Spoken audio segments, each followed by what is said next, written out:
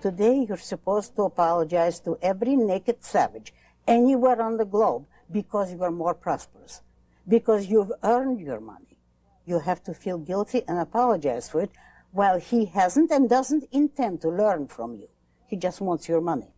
That's what we're being taught. Why are we being taught? Because the ruling philosopher today in Harvard and everywhere else is Immanuel Kant. And that's the real villain of our age.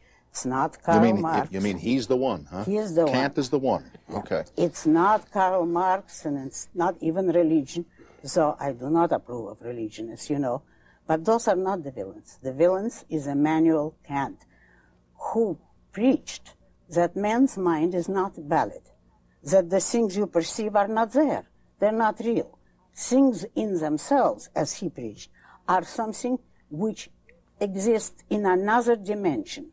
Your world is only phenomenal, as he called it, and then there is this noumenal world, which you cannot perceive in any way whatever, and that noumenal world is the true reality.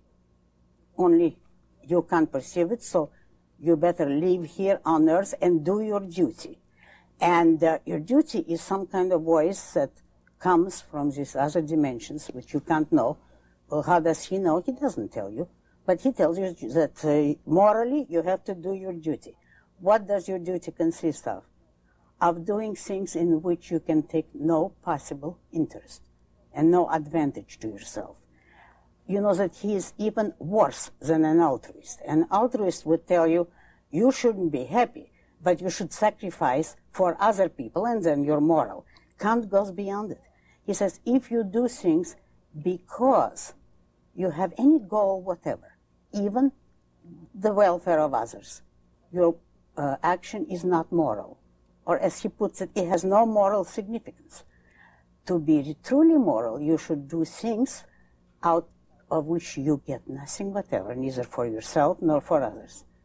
If you can achieve that kind of uh, being a total zero offered for being eaten by any cannibal, then you're moral. Now that's the philosopher who rules today's life.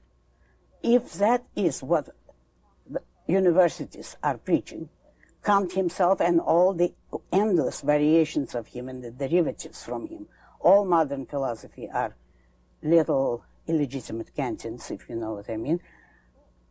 If that's what children are taught, once they leave college, what do they bring to life? What you see today. We're kind of reaching the visible climax of Kantianism.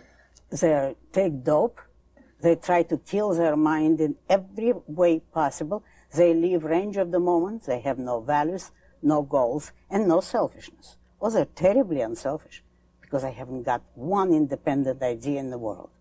The philosophies of the Western world have been going progressively more and more towards mysticism uh, ever since the Renaissance. The Renaissance was achieved, was the intellectual result of the Aristotelian influence, influence of Aristotle's philosophy, which in effect destroyed the Middle Ages and broke the way for the Renaissance. But ever since then, while men, while the culture in general, were achieving incredible progress, culminating in the 19th century, on the basis of that Aristotelian influence, the intellectuals, ever since Immanuel Kant, were uh, going progressively more and more against reason. The trend started, of course, before Kant, but I consider Kant the crucial destroyer and the crucial turning point. He was the philosopher who undercut the validity of reason. Uh, he did not really succeed, but his is the most skillful system of pushing reason off the philosophical scene altogether, and to the extent to which other philosophers and intellectuals accepted his basic premises, to that extent they have been moving towards a noumenal, mystical world ever since.